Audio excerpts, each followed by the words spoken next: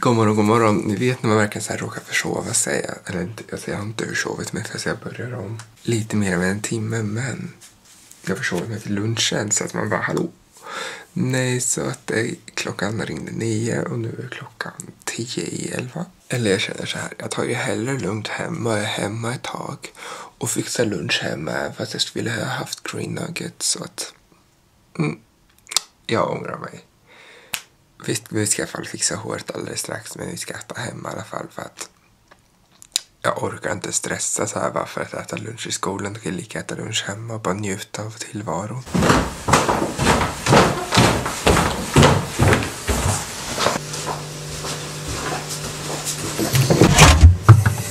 Men oj, vad är ni där? Tänkte ni vara med när jag äter min pannkaka?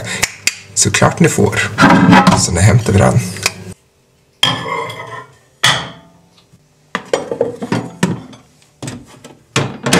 Jag älskar att vi har redan gått bara gått en dag i skolan och det har varit en lektion och man redan är lite så här skoltrött. Typ, vad gör jag med mitt liv? Varför gör jag det här? Varför typ valde jag? Varför... Tänk vad skönt det hade varit att fortfarande jobba, tjäna pengar, slippa skolstressen. Alltså skolstressen är inte nice. Alltså det är så mycket stress. Och det är bara la, la, la, la, la. Det är så här, när du har jobbat så har du jobbat och du är klar. Men i skolan, nej, du ska ta hem, du har prov, inlämningar, seminarium, du har allt möjligt att göra. Du lever i konstant stress och när du har jobbat så har du jobbat och du är klar. Och man bara, kapisch, nu är du klar med allting. Men sen, nu när man går i skolan, den konstanta stressen, som ett halvt år är det är det äntligen klart och det ska bli nice. För alltså det är ju dumt att klaga hur jag egentligen går i skolan. För flera dagarna så börjar jag faktiskt jättesent. Jag har typ bara en, två lektioner så börjar jag tidigt och bara har typ en lektion. Så alltså, det är dumt att klaga egentligen. Men ändå, alltså, jag gillar verkligen inte det här i skolan. Alltså jag känner så här, alltså när jag jobbar och så, alltså, även när jag jobbar jättemycket. Jag har ändå energi typ när jag går upp så här halv fyra på morgonen för att bara öppna. Men när jag ska typ gå upp i skolan och typ kanske börja hålla så jag känner att jag har ingen energi. Alltså jag är mer trött nu än när jag typ går upp för att arbeta för att jag öppnar på jobbet och det känner jag lite så här nja på den. Men som sagt, alltså, det är egentligen dumt att klaga. Det finns det folk som har det värre och typ 8-16 varje dag men som själva har typ två sådana dagar. Jag älskar att jag skulle haft en kvart på mig men eh, jag hatar bussar, alltså jag hatar kommunaltrafiken och det värsta är att jag måste ju åka för jag har inget körkort och eh, jag har ingen som kan skjutsa mig hela tiden. Alltså jag skulle gå till skolan en kvart innan jag börjar. Det måste slås igen. Så nu är det 30 sekunder kvar tills jag börjar. Och jag har typ en två minuters, tre, eventuellt fyra minuters promenad kvar tills jag är skolan. Och jag får som panik på sånt där. Alltså man bara hallå, kan inte bussen vara i tid? Och det värsta är ju att de står ju still vid sista hållplatsen. Bara står där tre, fyra stycken. Och bara står där. Och man själv bara, varför gör de det? Liksom när ni är där en kvart sena. Då kan ni väl åka i tid, eller vadå? Sitter ni och äter där och pillar i naveln eller? Jag blir så trött på sånt här. Men nu får jag till skolan, ska pedagogisk för fan. Så på väg hem från skolan och det var så nice. Jag bara haft en lektion och jag började miniplanera min födelsedagsfest lite mer och mer. Alltså det kommer inte vara en fest. Alltså jag har gått ifrån trerättersmiddag. Jag tänkte det kommer bli jobbigt och bara tja fan ska jag få plats med all mat och så. Så att vi kommer istället ha tacomys. Lite välkomstdrink, tacos och lite efterrätt. Så det kommer bli nice. Vet inte fan inte riktigt vad som händer dock är det jobbigaste att jag får ju typ inte ha festfest med mamma.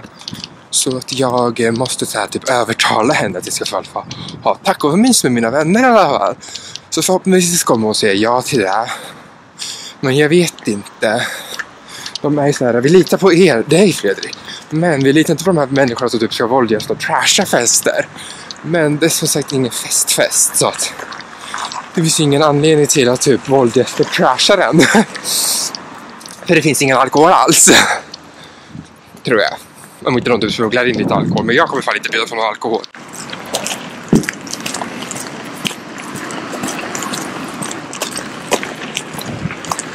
Kan man någonsin annat än att älska kommunaltrafiken? Nej, nej. Man hatar den av djupt av sitt hjärta för att säga hem. Alltså på vägen till skolan var det sen 20 minuter. På vägen tillbaka var det sen 25 minuter. Och det värsta var att jag såg tre stycken spårvagnar åt andra hållet. Men det kom ingen åt mitt håll. Man bara, vad händer här? Det borde ju komma lika ofta. Men nej, Och sen var det så fullt för den var sen 25 minuter. Egentligen skulle det vara typ den tredje som kommer. Ja, det var så många. Så människor kom knappt på. Människor kom knappt av. Och det var så hemskt. Man såg verkligen människor fick kämpa sig på. Och så ska människor med typ stora barnvagnar där de var fyllt med mat. Bara, jag ska också på. Man bara, hörru du. Och det var så synd om en liten pojke. Alltså han var så liten. Alltså han kanske var typ hit på mig. Och han var så inträngd. Och jag vet inte hur många gånger dörrarna stängdes och öppnades på honom. Och jag bara, nej. Så det var lite synd om honom. Det här älskar kommunalfliken så totalt nästan sammanlagt har varit försenat med en timme. Så alltså, om, om ni vill att människor ska åka kommunaltrafik, gör så att det funkar. Ja, gör så att det funkar så skulle mer människor verkligen vilja åka kommunalt. Men det finns en anledning till. Försenade, det finns inte plats och, och, och dryga chaufförer också. Det är också så här, man bara usch. Så fixa så problemen så kommer mer människor åka kommunalt. Inte som nu när ni bara har problem och ni kan inte hålla det ni lovar fast man betalar flera tusentals kronor för ingenting ni får. Alltså jag kommer för sent. Så mina köttbullar, jag har kommit hem, ätit lite mat och jag ville laga egen mat. Mamma bara, nej ta lite rester. Och mamma har gjort varm och det var planeringsfest jag tänkte ha, eller så fest fest, jag ska ha tacomys så det blir inte så mycket party där. Så att eh, ja, mamma bara, ja vi får se. Jag måste prata lite med pappa först. Jag ska prata med pappa och lära märka se vad som händer. Men det låter ju fall som att det kommer gå bra. Vilket är tur för att det, det är lite tråkigt ifall det inte blir av. För de bara, nej. Så, det har precis redigerat klart och det ska laddas upp och jag ska eventuellt till kyrkan alltså jag vet inte, det är fett oklart vad fan är det här. Oj, det var någon främmande sörja. Jag har ingen aning oklart och tycker det är så tråkigt bara för att alltså, jag bryr mig inte egentligen för att vad gör det men eftersom att vi var klara med det vi skulle göra på naturen, hade, alltså var klara, så hade jag fått höra då att vi inte behövde komma. Och nu fick vi frå ogiltig frånvaro för det. Och man bara, hallå, vi behövde ju inte komma men ja, ja vad gör det där med att få en timmes ogiltig frånvaro? Jag tyckte det var lite tråkigt. Vem åt precis och vem hade sönder en, um,